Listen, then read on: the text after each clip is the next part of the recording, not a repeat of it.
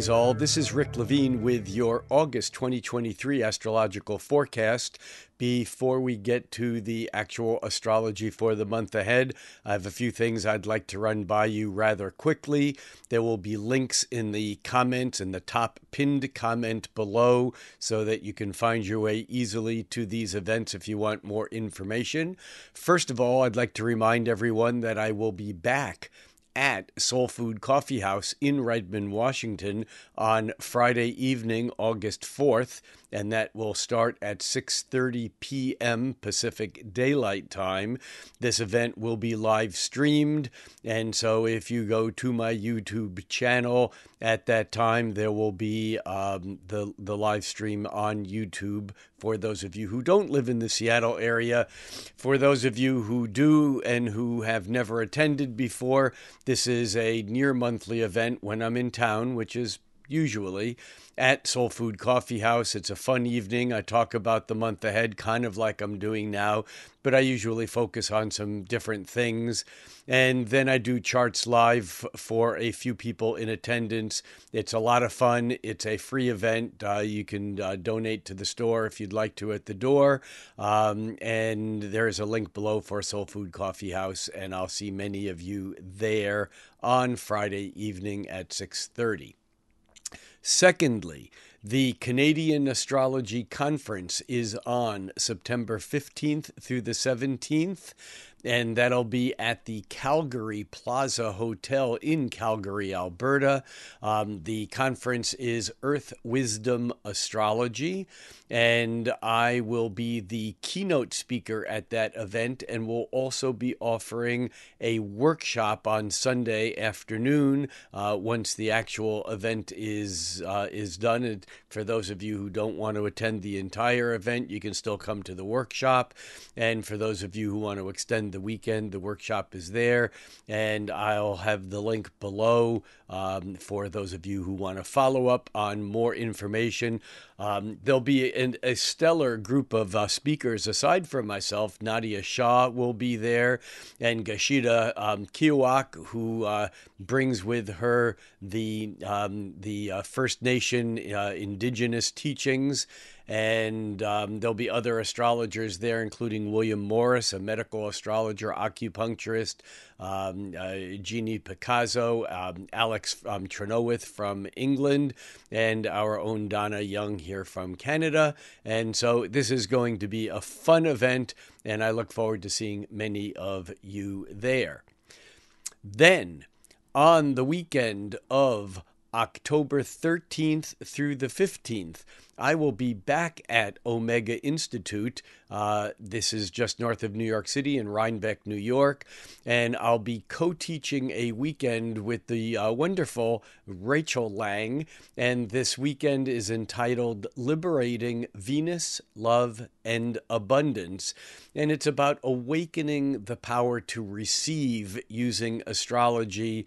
And uh, we're going to explore uh, more meaningful relationships, how to attract them and how to increase your, your access to abundance, basic Venusian uh, um, uh, issues, if you will, um, and and how does one go about embodying Venus, and what is Venus, and how does the astrological Venus work, and we'll offer insights about our own experiences of uh, love, finance, pleasure, sensuality, um, but of course Venus is also um, brings up the the polar opposites issues of fear and shame that can lead to self judgment and um, and so we'll be exploring the planet of Venus from from here on Earth and learn more about Venus in your own birth chart and discover how to have more meaningful relationships and working with astrology really as a healing modality.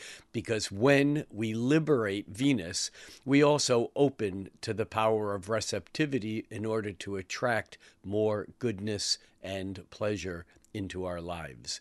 So that's October 13th through 15th at Omega Institute, just north of New York City. And again, the link is down below.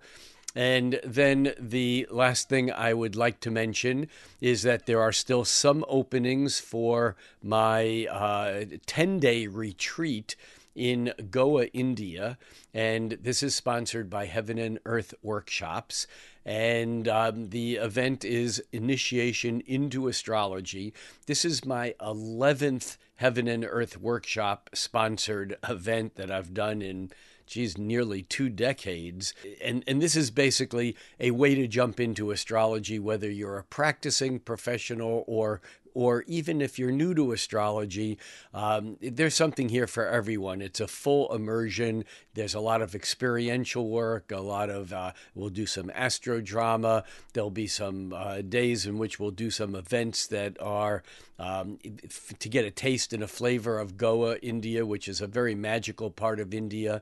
It's on the Arabian Sea. We're about a five minute walk, if that, down to a very beautiful and swimmable beach. Um, we'll do an event on the water. We'll go to a pretty one of the largest outdoor marketplaces you can possibly imagine. Um, we'll also take a trip up to an organic spice farm. Uh, it, it's fantastic. I've taught at this place before. The venue is familiar. Uh, it's an Ayurvedic healing spa. It's wonderful enough that when I go there, I spend an extra few uh, days uh, afterwards just hanging out in this magical, beautiful spot. Uh, that's December 6th through the 16th, Goa, India. And, uh, and like I said before, there are still some spots opening. It is filling up, and that's um, December 6th to 16th. And I look forward to seeing many of you there also. And that is it when it comes to uh, events. Thank you for um, uh, listening to to me as I uh, share with you some of these events. I know that many of you just want to jump right into the forecast, and of course, you're always free to scroll ahead. But for many of you, this is the way you find out what I'm doing and where I'm going to be because I know that that there is interest. So, with no further ado, uh, let's jump into the month of August, which I think is going to prove in, to be an intriguing month. You know, on the surface, there's not a lot of activity in in August, and I think that becomes part of the meaning of the month itself. Uh, you know, we start off the month and Venus is already retrograde. We'll detail that a little bit more in a few minutes. But we also have during the month, we have Mercury turning retrograde. Mercury doesn't turn retrograde um, until um, the 23rd. But it's important to understand that even though it doesn't turn retrograde until the 23rd, um, it is already kind of in motion with some of the stuff that will come up. Why is that?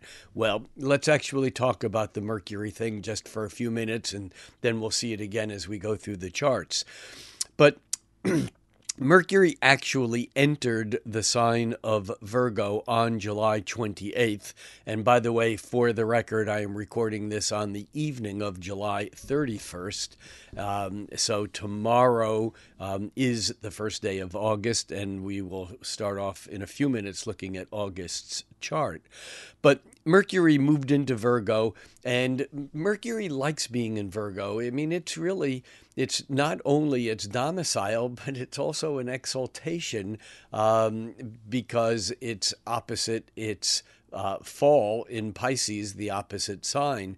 And so Mercury in Virgo is very powerful, it's very profound, and unlike Mercury in Gemini, it wants to apply what it knows. It just doesn't want to connect the dots.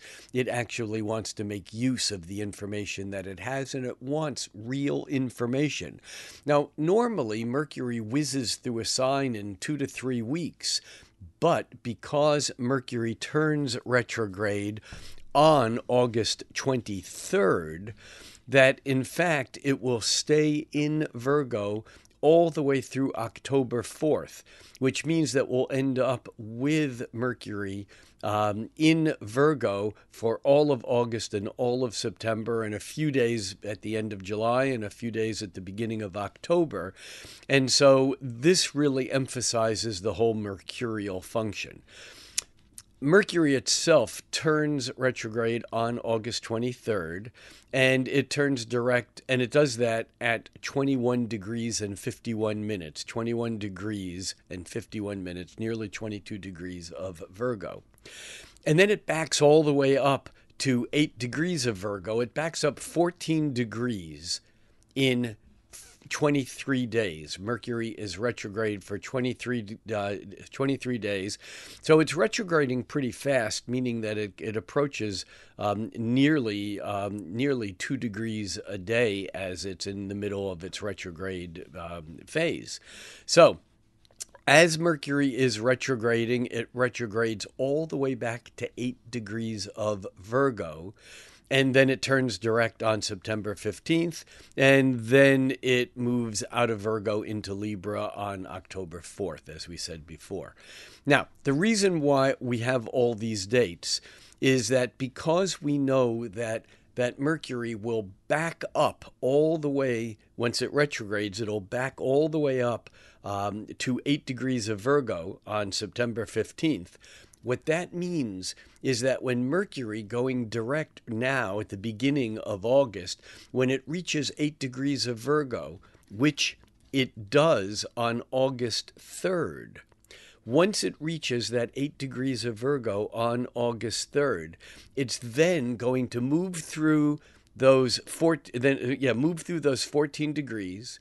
It's then going to turn retrograde going back through that same 14 degrees and then go direct again and move out of that shadow area um, on september 5th uh, uh, no on september 29th uh, it turns direct on september 15th so, the thing to understand is that if you have planets in your natal chart between 8 degrees and 21, almost 22 degrees of Virgo, um, that you're going to get that Mercury, transiting Mercury, conjoining your natal planet once, twice, three times as it moves forward and backward through that shadow area again and then forward the third and final time.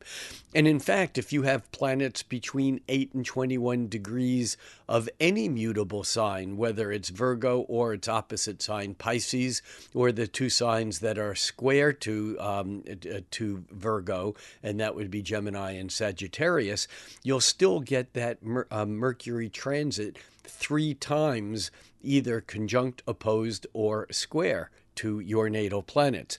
And of course, if you have a planet between 8 and 22 degrees of another Earth sign, meaning Taurus or Capricorn, then you'll get that Mercury transit trining your natal planet. And of course, you can do the same with other aspects, but those, those are the main ones. So the Mercury retrograde is important even though it doesn't turn retrograde until the 23rd, a lot of August is setting up things that will not play through until Mercury is moving the third and final time direct in September uh, from September 15th through the 29th as it's moving back through that shadow the third and final time. It doesn't mean that things aren't going to happen now, now that, you know, while Mercury is moving through the shadow area for the first time through the month of July. It just means that it's going to take time for these things to play on through. Now, while we're talking about retrogrades, let's also remember that Venus is retrograde for the entire month. And in fact, Venus actually um, moving through Leo, Venus entered Leo back at the beginning of June, um, and it began moving through its shadow period um, in, I guess, around June 19th. Um, and Venus turned retrograde on July 22nd. It doesn't turn direct until September 3rd. So, for the entire month of August, Venus is moving retrograde uh, back through its shadow, um, and then it won't leave its shadow until October 8th.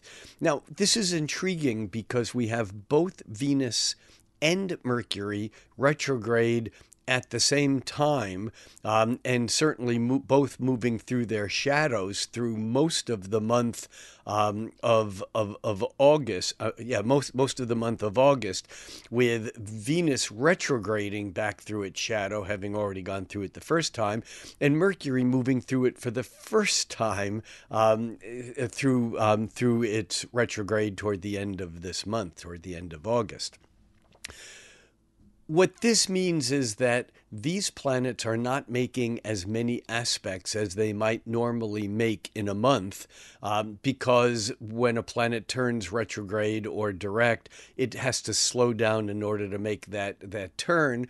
And when it moves retrograde, it's not typically moving as fast as it can or does move when it's direct. And so, from that standpoint, Mercury and Venus are both kind of giving us um, remedial work to do. And I think August is going to be an important month, but it's not going to be an important month because new, totally unexpected, exciting things out of the blue are going to happen. Although there is some action that does involve Uranus, and we'll get to that in a little bit also. Um, but largely, the the aspects from the faster moving planets are fewer because of Venus and Mercury's retrogrades. Mars, on the other hand, is moving through Virgo and actually reaches Libra by the end of the month. And that's one of the two planets that change signs during the, the month. The only planets that change signs all month of, of August are Mars moving into Libra on August 27th and the Sun moving from Leo into Virgo on August 23rd. But Mercury and Venus do not change signs because even though they normally do once a month or even more often, they're both in that retrograde direct um, uh, phase. And Mars does change signs, as I mentioned, but Jupiter, Saturn, Uranus, Neptune, and Pluto um, are all either slow moving enough that they don't change signs often, or as um, Uranus goes, Uranus will be turning um, retrograde later this month, and we'll get to that also. Um, the actual Uranus station retrograde is on August 28th, and um, but that also means that that Uranus is not moving very fast all month. In fact, uh, Uranus begins the month at 22 and three quarter degrees of Taurus, 22 degrees and 46 minutes of Taurus. And it turns retrograde on the 28th at 23 degrees of Taurus in five minutes, which means that Uranus doesn't even move one third, or moves barely one third of a degree for the entire, entire month and um, and so I the because the outer planets are not moving very fast right now. Um, I mean, Saturn has just turned retrograde. Pluto is retrograding. It does not move. It's not moving fast. In fact, Pluto, which um, squared the nodes exactly as the nodes were moving from the um, from the Taurus Scorpio axis back into the Aries Libra axis uh, in July, um, the last part of July.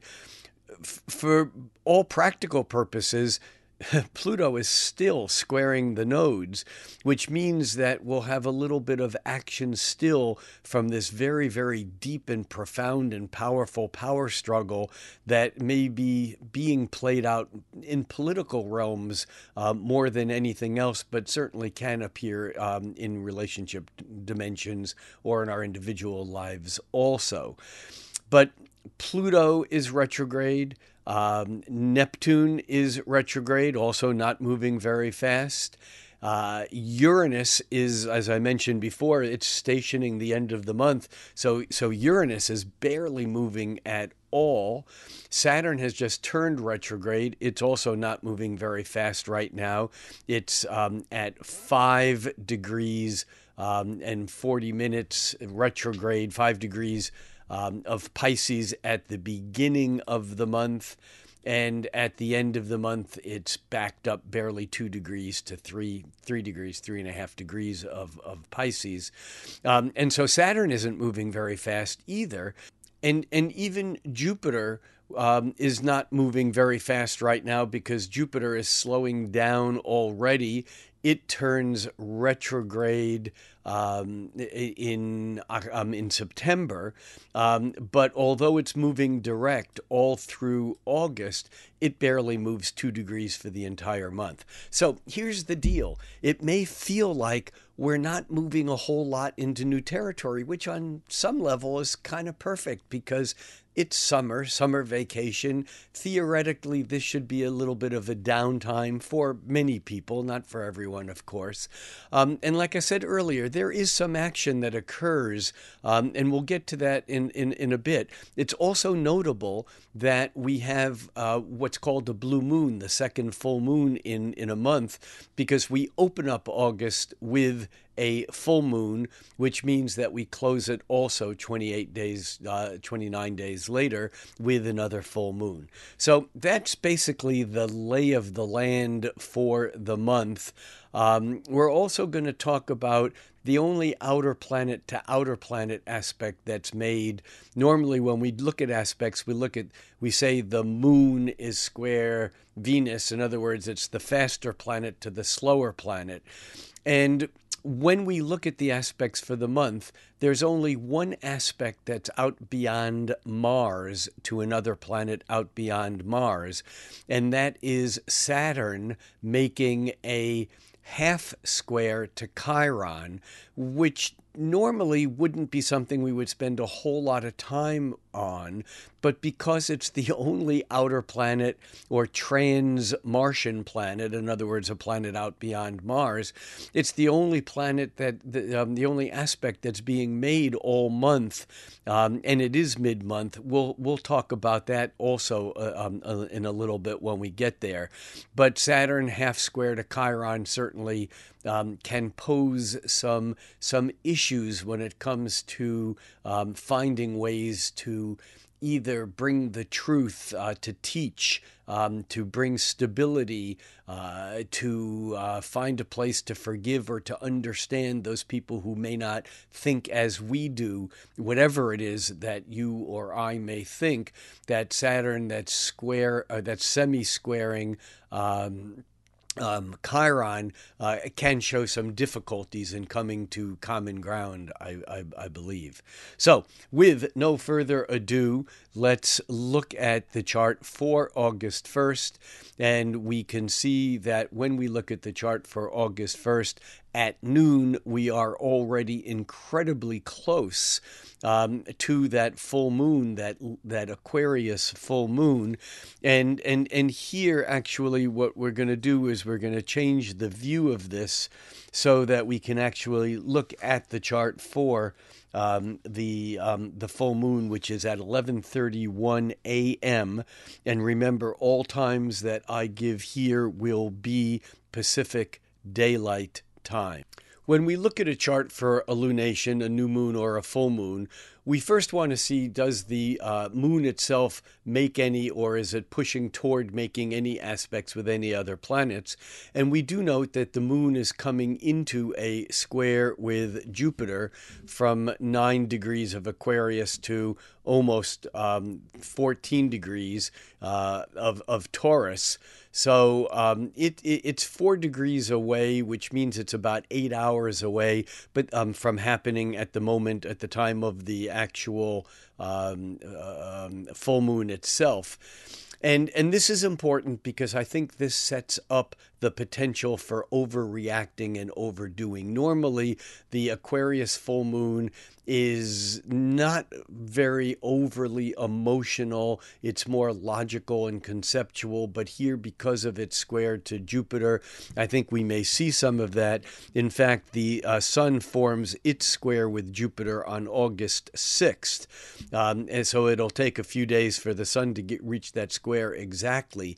But I think as we move into August, where we're feeling this potential for things getting bigger, things getting more, and yet at the same time, we also have um, on August 1st a few other very important aspects that are not specifically aspects to the moon or from the moon, but they're aspects that are supporting the, en- the energy of the moment. First of all, we have Mars making a um, a, a square and a half uh, to Pluto. And this is significant because Pluto is right at that point of the bending. Last month we had the Sun opposing Pluto and both of them squaring the nodal axis. And we're getting Mars now at that point of uh, the kind of the point of Thor, where it's making um, a half square to one uh, side of the nodal axis to the south node and a square and a half to the other. And I think that this can be really exacerbating. I think that this can stir up some anger, some words, some. Uh, you remember, Mars is the god of war and it's conflictive. But here's the other thing, and that is also at this full moon, Mars is making a trine to Jupiter, which is arguably a positive energy, although again, we can overdo it. In, in, in some ways, although Mars trine Jupiter is really like, like the upbeat spirit of a winning sports team that knows it can't be defeated and its confidence brings it through. And I think we can all glean a little bit of confidence from this aspect at this full moon on the other hand, we can also be so bold and even arrogant that we may stir up trouble where there doesn't have to be any. And and the and the other thing that's going on at the uh, on the day of the full moon is that Mercury at 5 degrees of uh, Virgo is moving opposite Saturn at five degrees of Pisces, and this is a bit of a more serious thing. It's a it, it, it, there's like running into the truth that we can't deny. All right, I know that no matter how in your face the truth is, if you believe something strong enough, you can deny the truth anyhow.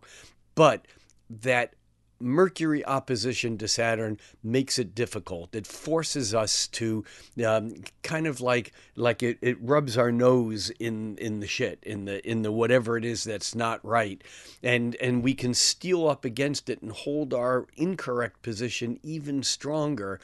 But this is really a uh, reality check in some ways to see what it is that we might be believing that isn't true so we can readjust what we think we know or what we know in order to accomplish in, in order to accommodate um, a more mm, uh, in a, a position with a higher integrity with more truth in it. Um, I don't think it's going to be an easy full moon, though, because of the Mars sesqui square to Pluto and its sesqui square to the, to the north node and semi square to the south node. And also because I think that Mars can even exacerbate things, even though its trine to Jupiter would normally be a positive event. And of course, Mercury's opposition to um, Saturn. Serious day. And I think there's a lot going on that is, in some ways, the harbinger of a big month. But I actually think that a lot of the things that are really big that we're expecting to happen or we'd like to happen may get sloughed off, may get put off a little bit until both Mercury and Venus turn direct. Um, and so we may have to wait for September for some of the bigger pieces to, to fall. Now, as we move on, on August 2nd, the moon, which was in Aquarius, the full moon in Aquarius, on August 2nd, the um, the moon moves into Pisces. The moon moves into Pisces at 8:05 p.m. And again, we're looking at an Aries rising chart, so there is no horizon um, in the chart. There, there, we can't use houses, uh, but the signs and the planets are are all correct. Um, the moon moves into Pisces, and while the moon is in Pisces, it's going to catch up to Saturn. So we might have a bit of serious uh, uh, things, uh, serious things to deal with um, on the second and third as the moon is moving through Pisces and even moving not only through Pisces but also then um, opposite Mercury and eventually opposite Mars. Um, but it's really lunar energy that is that is in operation on the first, um, on the uh, on the I'm sorry on the second, and then on the third when the moon actually catches up to that opposition to Mars. And then by August 4th, we have the sun making a square and a half with Neptune. This may add a little bit of confusion into the picture, especially since the late Pisces moon is also going to be conjoining Neptune. Uh, the moon itself will move into Aries at 8:19 p.m. on Friday, August 4th, but and that might be a little bit of a refreshment, uh, a little bit of a clearing of the air. But until then, I think that that Friday, August 4th might be uh, a little bit confusing and might be a little bit have a little bit of uncertainty, which of course also leaves room for heightened imagination, dreams, fantasy, and so on. Uh, remember, there's few aspects in astrology that are always good or negative or positive. It's really how we work with it and what we do with it. That is August 4th. Um, by August 5th, we still have the moon moving through Aries. Um, and uh, other than that, there's not a lot happening, but we're beginning to feel that Sun squaring Jupiter even more. Remember, that makes that exact square um, on Sunday, the 6th but we're already feeling it here um, for sure. And also on the 6th at 1124, um, uh, let's move ahead to the 6th here. On the, on the 6th at 1124, p.m., the moon moves from Aries into Taurus, which can settle things down a bit more. But we also have the sun making its exact square to Jupiter, which on one hand can be confidence and exciting. Um, and we also have um, Venus making a square with Uranus. Um, which is not exact for another few days, not exact until the 9th. But it's interesting because we have the Sun um, making its exact square with Jupiter, the Sun in Leo, Jupiter in Taurus, and Venus retrograding back into its square with Uranus, um, which again is exact in, in, a, in, a, couple of days, in a few days on, uh, what did I say, August 9th. But here's the thing, and that is that as Venus is backing through this square to Uranus, it's going to remind us of the fact, and I said at the beginning that I would get back to these things um, a, a little bit later, but but what it does is it reminds us that when a planet goes direct, retrograde, direct, often aspects are repeated three times. And which aspects are being repeated here? Well, it is in fact um, Venus, which um, squared Uranus when it was moving direct at the beginning of July, July 2nd, there was a Venus Uranus square. Now, on August 9th, retrograde Venus squares Uranus again, and it'll square Uranus again for the third and final time once it's going direct, moving toward, moving out of its shadow on um, September 29th. But right now, we're in the midst of this period of time between the beginning of July and the end of September, and we're getting a bump on this um, Venus squaring Uranus, which is kind of exciting us into thinking that maybe we want things that are new and different and exciting, whether we act on them or not, is not the issue. It's the fact that we are intrigued or or attracted to those things which are normally outside of the box. So that's the Venus squaring Uranus. And and while we're here, I just want to mention, and I'll bring this up again in a few minutes, that back on June 11th, Venus squared Jupiter, and on August 22nd, retrograde Venus will come back and square Jupiter again, like the Sun is squaring it now today um, uh, on on the the sixth. Um, and so it's important to understand that these events are not separate from one another. They pull each other's um, rhythms and and uh, dynamics um, back around, back in. And so as Venus retrogrades back to its square to Jupiter by the 22nd, and then it moves through that square, it turns direct, and by September 16th, it makes its third and final square to Jupiter. All of this is about the Leo to Taurus square. That's why we're focusing on all of these right now, even though we'll we'll separate them out by the actual dates when they when they occur.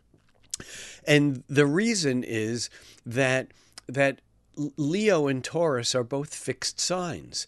And the sun in Leo wants to just shine its light. It wants to be bright. It wants to it wants to love and be seen for the love that it gives or the light that it gives.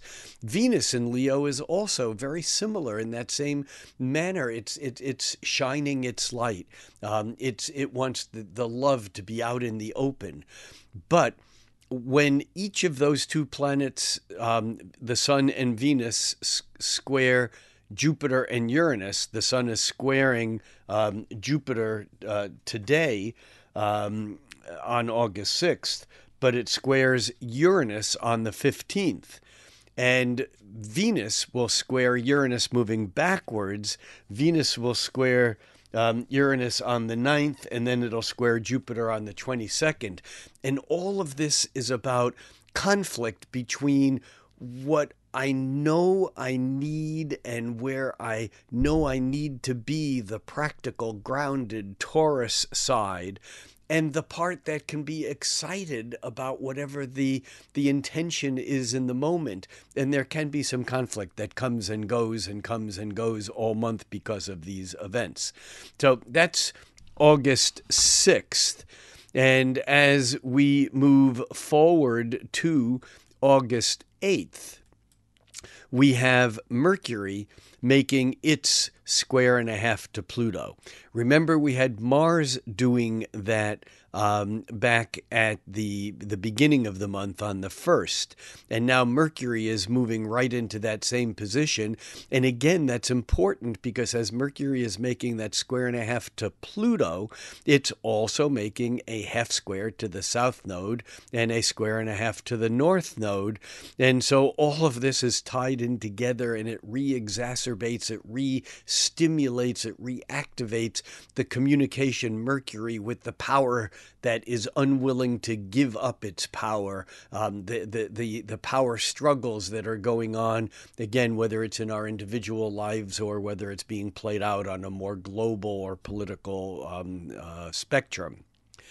Then on August, oh, and, and then, yeah, and then on August 9th, the moon moves into Gemini at 6:05 a.m. and we also have the exact Venus square Uranus that I talked about just a few minutes ago. The sun is moving away from its square uh, to Jupiter, uh, but Venus is actually squaring exactly. And so it's pulling in all of that Taurus uh, to Leo square energy. On the 9th, we also have Mercury making a trine to uh, Jupiter. And this Mercury, remember, Mars made a trine to Jupiter at the beginning of the month, and now Mercury is making a trine to Jupiter. And so it's interesting how we're getting these these plays and replays of similar energy but with different planetary players or the planet retrograding over the same point again. But that mercury to jupiter may be a day again when we, if we have a speech to give or if we have a performance or an interaction we can be so on point because we're really we have that confidence from from jupiter that's being fed by the trine from our intellect our speech mercury. But the warning is that just because it's a trine doesn't mean it's good, because we can also overstate something. We can exaggerate to the point of actually lying, even if we didn't mean to exaggerate so much that what we were saying was untrue.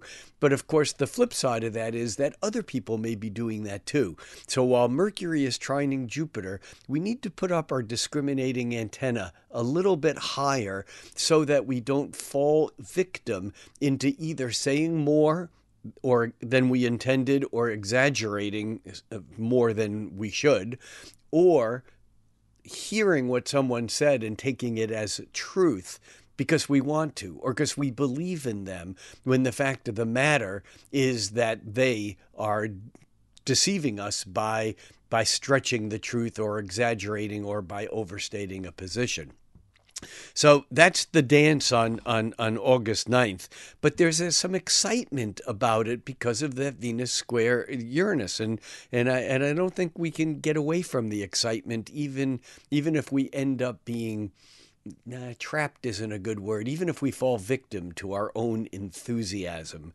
Um, you know, so we just need to pay attention um, around that period of time.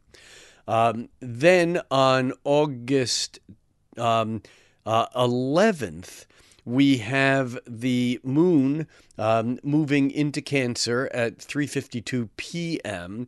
and our energy goes a little bit more indrawn now. Before with the moon in Gemini, we were more outgoing and talkative, and of course that while the moon was in Gemini, we also had Mercury active in its own sign of Virgo, uh, trining Jupiter.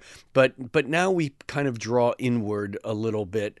And on the 11th, we also have Mars making a quincunx with Chiron. Again, this is a this can be a difficult energy. It's hard to get past our own unwillingness to forgive someone or to trust. Maybe there's a trust issue here. Um, um, it's it, it's it's just it's complicated is what it is.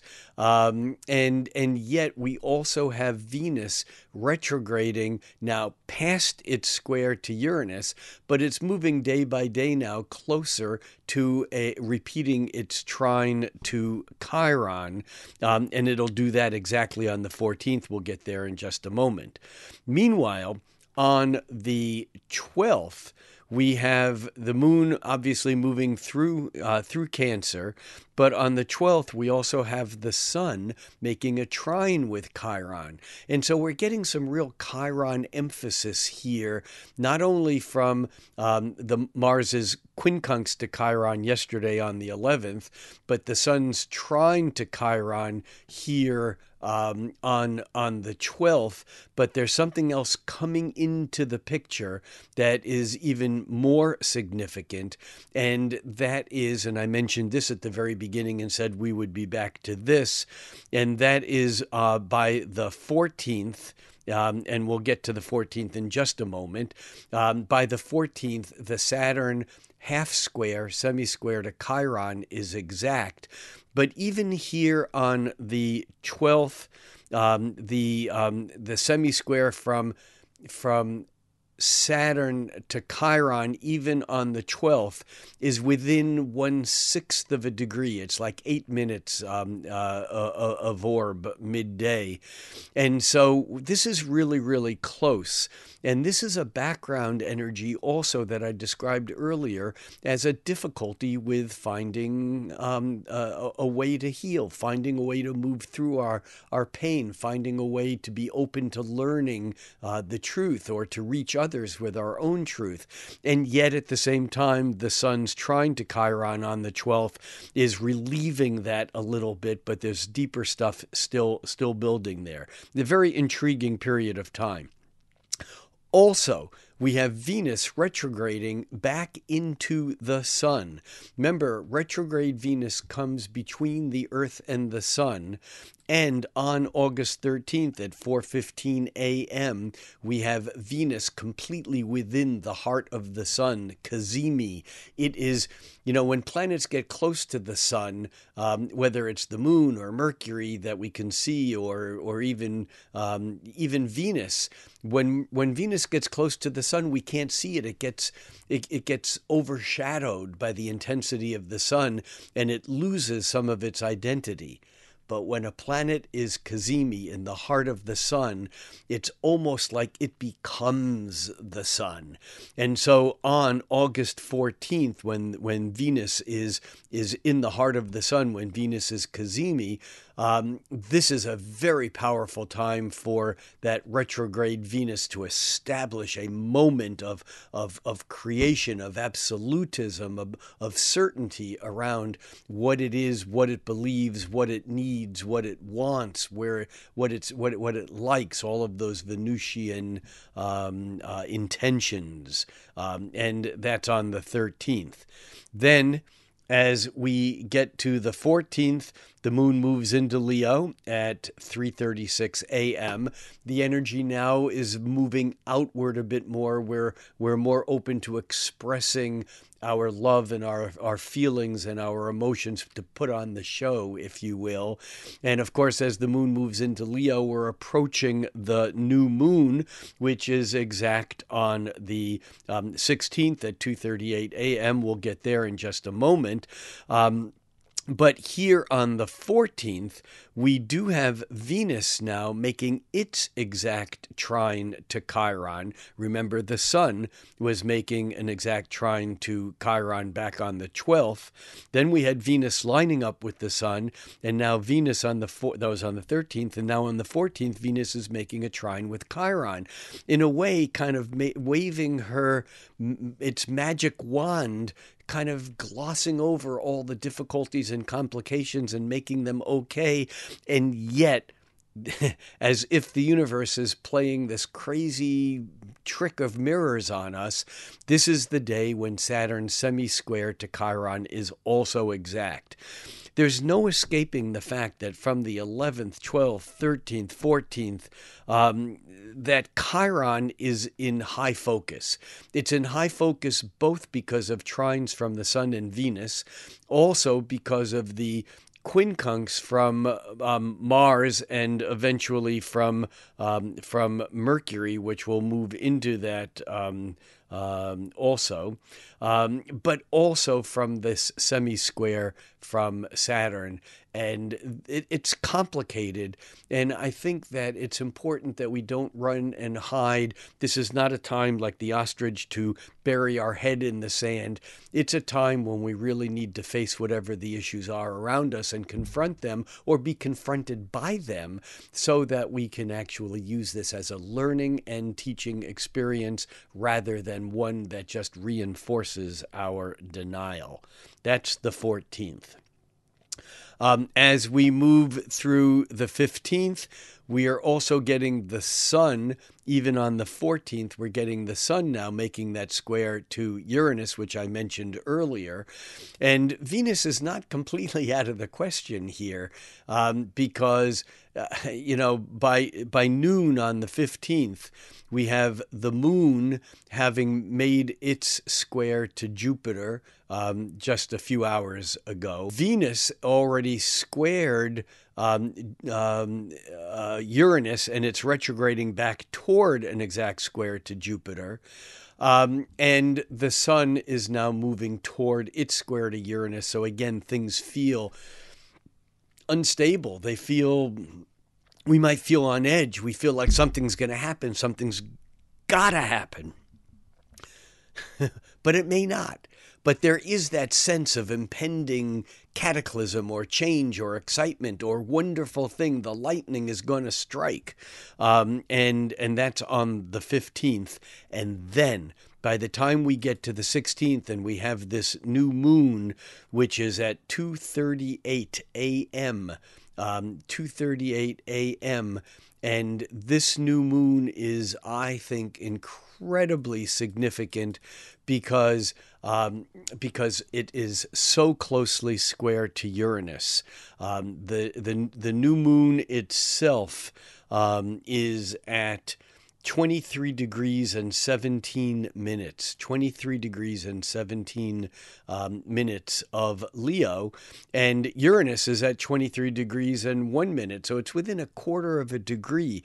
Um, both the sun and the moon will both make that um, square to Uranus uh, prior to the new moon, but it's electric. It's it's going on like right now, and on top of that, um, the the new moon at 23 degrees of, of Leo is not only squaring Uranus, but it's also at the same time um, that retrograde Venus is now still trining Chiron. It's about a degree off from being exact, and and that's also in in the past. So that's kind of easing, but it's still there and it's very powerful. And we also have something else now building with both Mercury and Mars um, still moving direct, Mercury still moving direct, but it's slowing down.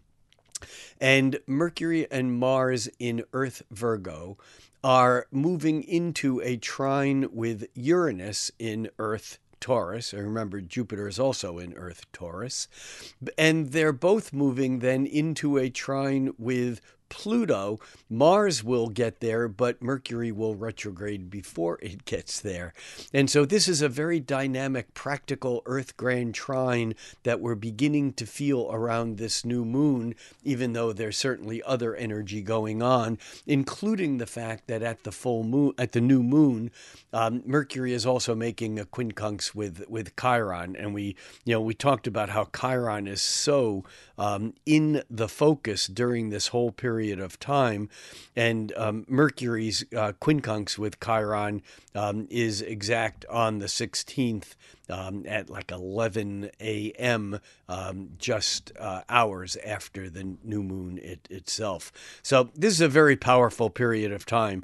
And the other thing I want to mention here is that remember, Mars makes that exact trine to Uranus on the 16th, just hours after the um, the new moon. I mean, it's so close. Um, it, it, the trine is exact at 6:53 a.m. and the and the new moon is exact at 2:38 a.m. But Mars makes the trine with Uranus um, uh, um, at the new moon. But then Mars makes an opposition with to Neptune on the 22nd. And then it makes a trine to Pluto on the 24th. And that Mars trine to Pluto on the 24th, remember, we're still playing off the same grand trine energy that we looked at here at the new moon. Um, and I just also want to remind us that even though the Saturn semi square to Chiron is waning, it's still, you know, at the new moon on the 16th, it's still within um, four minutes of, of orb. That's one twelfth of a degree. And so it's still there. We're, we're, we're not done with the whole healing issue or the lack of healing issue that is being ag- exacerbated at this point, even though we have some, some uh, we have a path with the Mars trining Uranus of breaking through whatever the stalemated energy is. Even though the moon itself, the new moon itself, is square Uranus, Uranus is absolutely in the highlight here. Very powerful day, August 16th. Very powerful uh, uh, lunation. Um, as we move ahead, um, by the way, um, by 4:14 p.m., the moon moves out of Leo and into Virgo, and here we can uh, perhaps focus our um, energy uh, a bit more. And by midday on the 17th, we have the moon actually in Virgo having already made its opposition to Saturn. Things are a bit more serious now on, on, on the uh, 17th um, even though some of the other aspects are beginning to wane. I mean, Mars is still closely trining Uranus. We can expect still an ongoing scene of excitement or or craziness or releasing of, of built up tensions that that are occurring here on the 17th, even though the moon in Virgo is wanting us to hold that energy a bit quieter, a bit more um, cautious, careful may be the better word than than cautious. Cautious is more like a Cancer moon, um, uh, but there's this sense of discriminating and and and holding the energy until until it's really right to express it. And remember, as that moon continues to move um, through Virgo by August 18th, that um, the the moon will catch up with Mercury and Mars, um, and eventually oppose Neptune just before um, Mars does it. We talked about Mars opposing Neptune on the 22nd, and so we're getting again this sense of what the hell is real here. It's hard to tell. Um, the grand Earth trine, though, is really cooking as Mercury and the Moon and Mars are all um, trining Jupiter and Uranus. And in fact, that Jupiter Uranus midpoint um, is um, right around 19 degrees. And so, as the moon moves through 19 degrees, and Mercury did just yesterday, uh, um, it, it, it's really pulling in all of that energy of Ju- of all the Earth planets, of Jupiter, Uranus, Mercury, Moon, Mars, and Pluto, um, and it's very very powerful. Really, kind of holding. I was going to say holding our feet to the fire, but it's more like keeping our feet on the ground. It's it's like we're we're feeling what is real, and we we can't we can't escape it. We can't escape it. That brings us up through the 18th. Um, by the um, 19th, the moon moves into Libra at 4:53 a.m. Um, and as the moon moves into Libra, we search for finding balance. We search for ways to be more um, um, to to apply more fairness in whatever it is that we're doing. Remember, Mercury and Mars in Virgo might be precise, but they're not interested in being fair. They're interested in being accurate. The Moon, as it moves into uh, Libra, it really reminds us that fairness is is important, and by the twentieth the sun is now making a quincunx with Neptune. And this again is a bit of confusion. It's a bit of uncertainty that just doesn't seem to kind of ever quite get out of our system during these days. But the sun's quincunx to Neptune on one side is a quincunx to Pluto on the other side that's exact on the 21st. And so we're really getting this this this energy of these quincunxes, um, even the moon moving through latter degrees of Libra on the 21st forms a quincunx with Neptune. Um, and so we're as we're approaching this period of time, the very end of of Leo, um, the sun is getting ready to move from Leo into Virgo, where it'll join up as it does once a year with the um, fixed star Regulus, one of the king stars, which is basically a star that says you get what you deserve, you get fame and fortune and and royal energy, but you have to be careful of revenge. He who seeks revenge under the star of Regulus is surely doomed for failure. So, this is just something to keep in mind as we approach um, the sun moving through the last degrees um, of Leo and into and into Virgo, um, which it does um, on the 23rd, but still on the way there, on the 22nd, we have um, the moon moving into Scorpio. Actually, the moon moves into Scorpio late in the afternoon on Monday, the 21st. It's at uh, 4:22 p.m. Um, and now again, we forget we don't forget about fairness. It's just it's less important than it is to hold a position and to get it right. And as that moon moves into Virgo um, on the afternoon of the 21st, we might feel more of a drive to um, to take a position. But on the 22nd, we also have Mars making that exact opposition to Neptune, and so here again, it's easy to be misled by someone else. And in fact, also on the 22nd, we have Venus squaring Jupiter. Remember, Venus retrograding, now making that second um, of three squares to Jupiter. Um, the, uh, the, the first square was back at the beginning of June, or actually June 11th. And now it makes a second square. The third square is not until mid September. But this is significant because, again, it's almost like if something feels good, we want to take it further. This is about extravagance. Again, Jupiter is confidence, it's overconfident, it's overdoing. Venus is about the sweet things. We can, we can reach too far, we can spend too much money.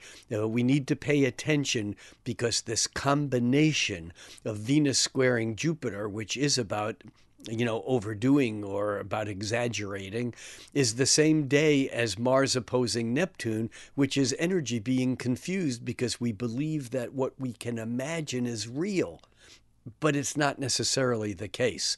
Again, this can also be a wonderful day for expressing one's creativity, artistic side, for fantasy and role playing and love. The magic of, of the power of fantasy here is, is really important and really um, significant. Um, that's all on the 22nd, but by the time we get to the 23rd, the sun actually moves into Virgo at 2:01 a.m. and this is now the beginning of the ending of summer.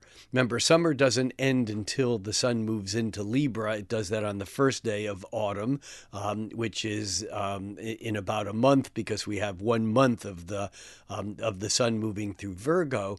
But as the sun moves through Virgo through the end of August, the, uh, one of the first things that we will notice is its opposition to Saturn, which we will begin to feel once the sun actually enters Virgo, even though it's three days away. The actual sun's opposition opposition to Saturn is exact on the uh, uh, is early in the morning on the 27th, so it's almost four days. But this is all that we're in a transitionary period here because also on this day mercury having not caught up to mars at 21 degrees and also not having quite reached its trine to uranus almost almost almost on the 23rd of august mercury stations and will begin its um, its um, 23 day retrograde uh, period.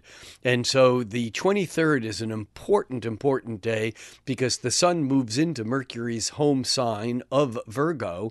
And meanwhile, Mercury, while in that sign, is stationary. And also, Mars, toward the end of Virgo, is pushing toward a trine with Pluto, which is exact tomorrow on the 24th. And so the energy here is profound and powerful.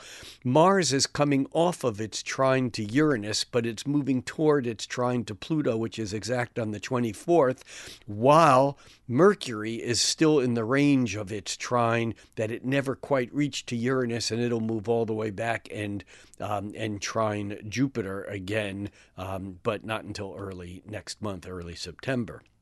So, powerful, powerful time. The moon moving through Scorpio will oppose um, Jupiter and Uranus on the 22nd and, and 23rd. Um, these are dynamic periods, dynamic days. Um, also, by the time we get to the 24th, that's when the Mars is exactly trine to Pluto. This is powerful energy that moves smoothly. It can be for good or for evil. It can be expressing either love or fear.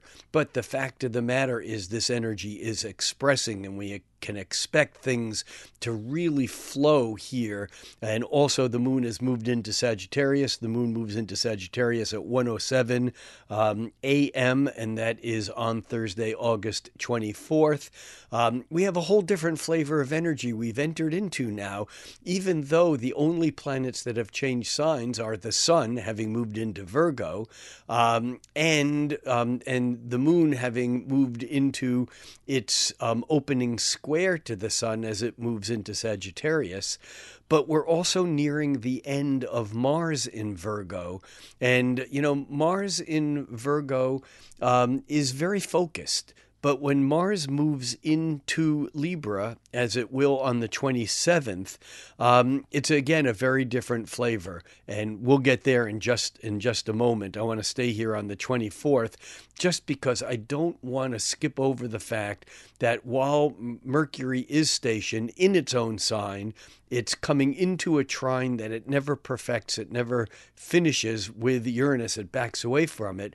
But the Sun moving into Virgo is still opposing or coming into that opposition with Saturn. This is dynamic energy, it's not easy. And now on the 25th, we have Venus making a half square with Mars. Um, again, Mars is still in Virgo, Venus retrograding. Um, this is dynamic energy and it's complicated because, in some ways, Venus and Mars are motivated to do something, but but I think it's hard for them to figure out what it is to do, especially since now Mercury is retrograde. And so Mercury is picking up power but not moving forward. We're kind of going over old territory. And Mars is still trining to Pluto, giving us some depth, some, some power that's coming from very deep places. Even if we don't know what it is, even if we don't know how to work the energy, it's still coming up and we're still expressing it. Very powerful period of time here. Um, and um, and uh, um, on the uh, 26th, we have the moon moving into Capricorn. That occurs again in the morning at 6:05 a.m. Uh, the moon moving into Capricorn. By midday, it'll be trining the sun in Virgo and sextiling Saturn in Pisces. The moon will be at that point of Thales, that release point from the opposition um, of the sun and Saturn. Um, the opposition of the sun and Saturn is exact tomorrow on the 27th, but even today on the 26th that Sun Saturn opposition is within a, it's about a half a degree of, of orb, so it's already very very powerful. Um, it, we're we're running up against the truth, against reality. Sun opposed Saturn is a reality check. It's a karmic point. It's a we get what we deserve point, whatever it is.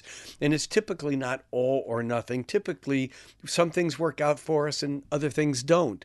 Um, because the because karma is complicated. We're never all good or all bad.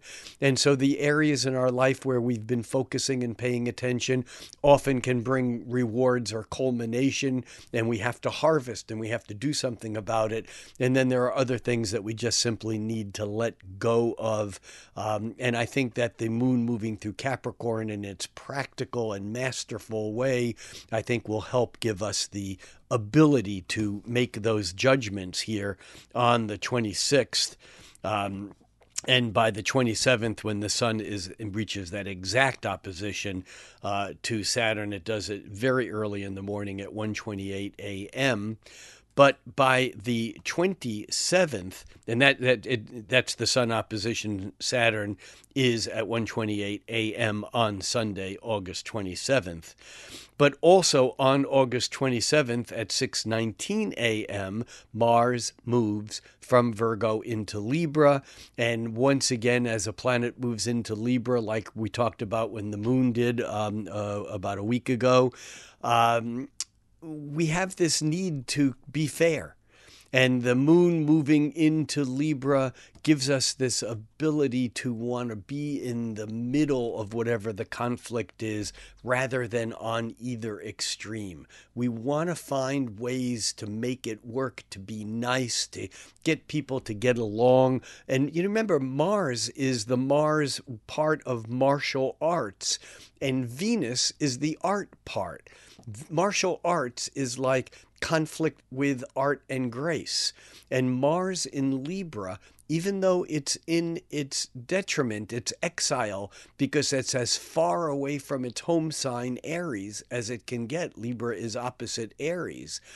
But as Mars is moving through Libra, if we can control the fiery edge of Mars of wanting to fight, we then can move into a more elevated realm of being able to even do more powerful work by being artful in our conflict rather than impulsively punching, instead, working with the energy and dancing with it, almost like a um, coyote you know, will dance with its prey rather than attacking it outright. And this Mars in Libra, I think, gives us the uh, opportunity or invites us to to do that on the 27th. Also on the 27th, we have the Sun making a square and a half with Chiron, and um, and that's exact later in the afternoon. Um, but again, here we have the same ongoing problem that we keep facing, and that is that every time we get close to a solution, there's some disruptive energy. There's a feeling like we can't heal, we're not going to resolve it right now. And that's that niggling part of Chiron that just doesn't seem to go away. And remember, Chiron here um, not only does the um, does the sun make that square and a half to Chiron, but also Chiron is still in a half square to Saturn. So in a way, Chiron is really at that point of Thor, that that exacerbating problematic point when there's an opposition and there's a planet like Chiron is now half square to one side and a square and a half to the other side. Um, and um, and and actually, um, that is something that I think will feel quite strongly as we approach the end of the month once Mars has moved into Libra and once the Sun is actually opposing um, opposing Saturn as it does on the 27th. By the 28th, Mars moves into now it's Mars is in in Libra, but Mars makes that square and a half with Jupiter. And and again here this you know, Mars Jupiter together can be really positive, but we can be overdoing, we can be overexpressing. And by the way, the moon, which moves into Libra, uh, I'm sorry, the moon, which moves into Aquarius um, uh, in the morning of the 28th, it actually does so at 7:31 a.m. Um, and as it does, it makes a trine with Mars, which is going to give more power to um, to that Martian energy of wanting to get things right in a way of harmony and balance. But we can overdo it because of its sesqui square, its square and a half to uh, Jupiter. That is on the 28th, and on the 28th.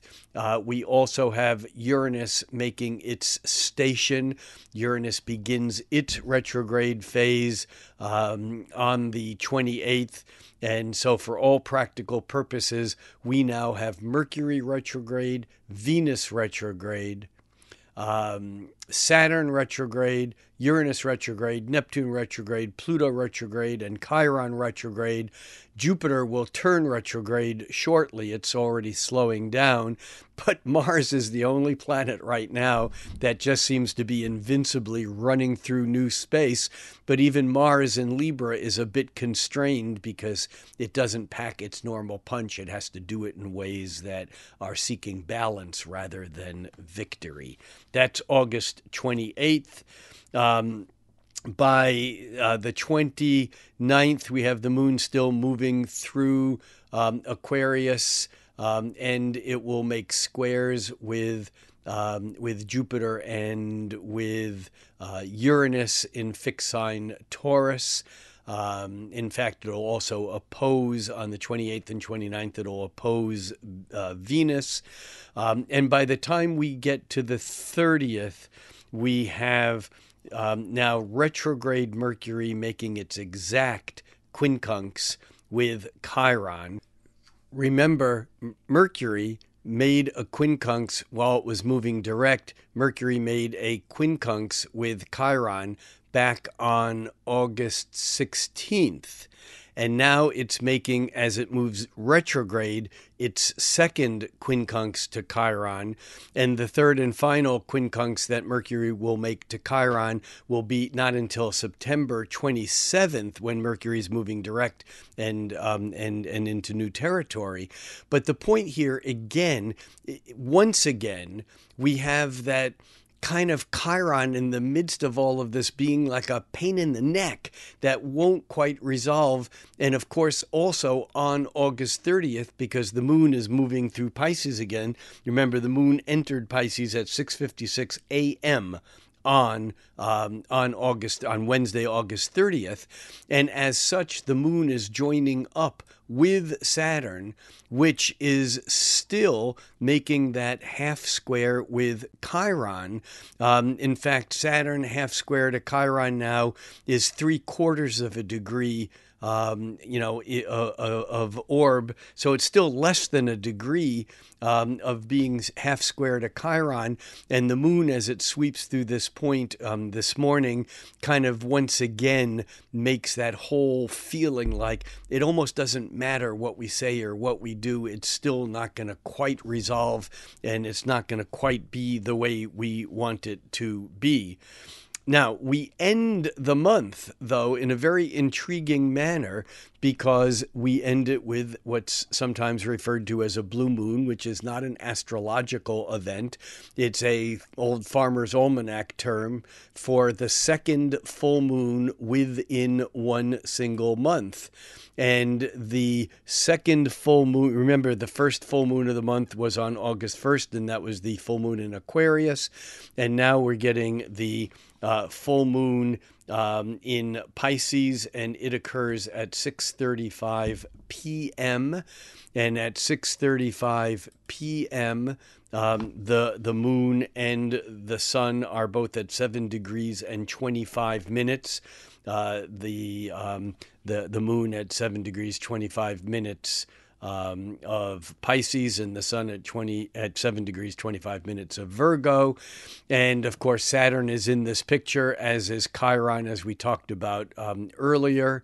Um, there's this whole um, piece of the discomfort of this remember Mercury is making that that quincunx with Chiron that's very very close. It was exact um, just a couple of hours prior uh, to the full moon at 4:55, um, a little bit less than two hours um, prior to this full moon, and so there's this complicating factor that things just don't quite feel right. And in a way, though, um, this full moon, so different than the opening full moon on August 1st, which was really about the difference between who I am and how I'm going to express myself. That's the sun in Leo. And the moon in, in Aquarius says, yes, but I feel like I need to pay attention to the bigger picture, the global issue, the culture, the family, society, and so on. Now, the awareness of this full moon, the culmination, is more about compassion, kindness. And with the moon close to Saturn, it's like we can harden up, but it's really important for us to take compassion seriously and to really do what we need to do. It's too easy to go into denial with the sun opposing Saturn or the moon conjoining Saturn. Uh, remember, even though it's a few days after the exact um, opposition of the sun to Saturn, that was on August 27th, um, we're still in the range of that. And so it's really important for us to use this energy of the sun in Aquarius to, to narrow our perspective so that we can actually aim our kindness, our compassion, our spirituality in the in the right directions. Although I know spirituality isn't really directional, it's it's more effusive, it's more spreading. Certainly in, in Pisces, the moon does that. But I think that with the sun in Virgo, there is a need to just be conscious about what our um, feelings and how our instincts and how our reactions are manifesting in the real world and and what what effects it might have just before unconsciously just spreading our stuff around without even thinking that there are effects from us from each of us individually as as as as a cause so that's pretty much um, the month. I mean, there there is um, in in in fact there there is a 31st to the month. Um, the moon is still moving through Pisces all through the 31st. Um, and uh, there is not any other outer planet activity. Um, there are things that are coming up that will that will kick in um, as we move into um, the uh, beginning of September, including Mars moving into a quincunx with Saturn. September 1st is not a comfortable day. Um, I think that's a Friday um, until later in the day when the moon moves into Aries past its conjunction to, to Neptune. Um, and I think that September can, in fact, start off with a with a bang, with a you know with a bit of energy. Um, but we will get to that in a month that's it for now. It's a it, you know it's it's a very intriguing month because there's so much going on, but it's not necessarily completely new things that are unexpected. There's a lot of energy that's being tied to things in the past that will come back in September in the future. It's almost like it's almost like uh, August is what there's a saying. It's betwixt and between you know it's it's kind of like it's it's not where we were and it's not where we will be but it's kind of a bridge and maybe that's what the uh, idea of of August is. It's a bridge between the past and the future. And we're not quite done with the past yet but we're not quite into the future yet. And I think a lot of things will be resolved by the time we move into and through September that don't get resolution in in August. Quick reminder for those of you who are um, patrons at the solar level, that's the $3 a month level, um, you will be get and, and all of those at higher levels, of course. Also, you'll be getting the mid month um, update um, toward September 14th, 15th, 16th, somewhere in, right in there. Um, and for everyone else, I will see you back here again um, on uh, on for the month of September on September first, and I hope to see some of you at the uh, astrology night at Soul Food Coffee House in Redmond on um, Friday, August fourth and others of you at some of the other events I mentioned at the beginning. That's it for now. As always, think cosmically, act locally. Think cosmically, act locally. These are not just hollow words. Astrology does us no use at all unless we apply the, the symbolism and the archetypal energy that's unfolding at the cosmic levels. Unless we apply that to our individual lives, then why bother spinning all these wheels? That's it for now. I'm Rick Levine, and be safe out there.